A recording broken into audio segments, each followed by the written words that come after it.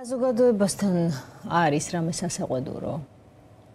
როგორ ფიქრობთ თქვენ? საზოგადოებასთან რომელიც მართლა დაღლილია ემოციურადაც და სიღატაკის ზღვარს მიღმა ამ ქვეყნის მოსახლეობის ძალიან სოლიდური ნაწილია და ყოველდღიური მართლა საკვები აქვს შვილებისთვის საშოვნელი.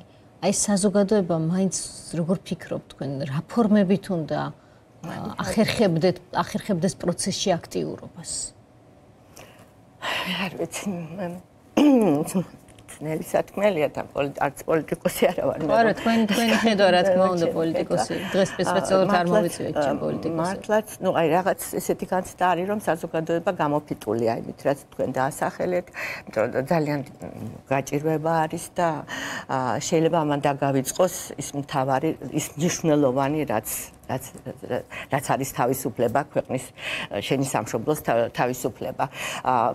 გამოგფიტა მუდმივმა ნერვიულობამ მესამე პრეზიდენტის ჯანმრთელობაზე გადარჩენაზე ნიკა გვარამიას დაჭერა. ეს ყველაფერი ყველაფერი რასაც ხელისუფლება ჩადის და ეს რაღაცნაირად არ ვიცი შეიძლება ამან უფრო უნდა გამოგვაფხიზლოს მაგრამ თან თან თითქოს გამოვიფიტეთ კიდეც ამდენი ნერვიულობისაგან. ბუშინ აი ამ ასეთ ფონზე ამ ასეთი უბედურებების ფონზე გუშინ კიდევ საოცრად გავფრაზდი და გავმწარდი, როდესაც იულონ გაგოშიძე არ შეუშვეს მუზეუმში. ნუ გამაოგნება, ჩემთვის იყო გამაოგნებელი, ანუ სადამდე მივდივარ ბოლოს და ბოლოს რა ნაბიჯები ითქმევა და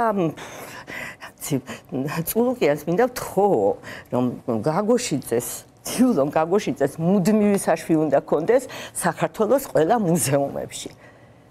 ქალბატონმა უნდა გაიგოს, რომელიც მე ყოველთვის მიკვირს, როგორ იტევს ამდენ სიძულვეს. თუმცა ეს შეკითხვა მე ირაკლი ღარიბაშვილთანაც ამახ და ირაკლი კობახიძესთანაც.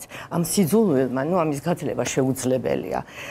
რა ვიცი რა უნდა ვქნათ უნდა გავიხსენოთ რომ არის ესეთი ნამდვილი ღირებულება თავისუფლება შენი სამშობლოს სამშობლოს თავარი ფასეულობა და ამისათვის ეთყობა უნდა ის რაც დაგვრჩა და ამ გამოფიტვისაგან და ამდენი უბედურებისაგან აი ეს ყველაფერი გავაღვიძოთ რომ შევძლოთ შეძლოთ გადავარჩინოთ ის ფასეულობა რასაც ამდენი თაობა შეეწირა ამდენი სისხლი დაიღვარა ისთვისაც რა ვიცი